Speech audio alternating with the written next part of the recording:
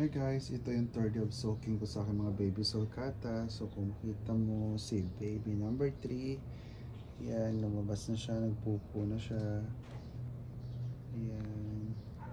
So yung tatlo na lang ang hinihintay ko para mabalik ko na sila sa enclosure nila at makapag-breakfast na. So ayan na.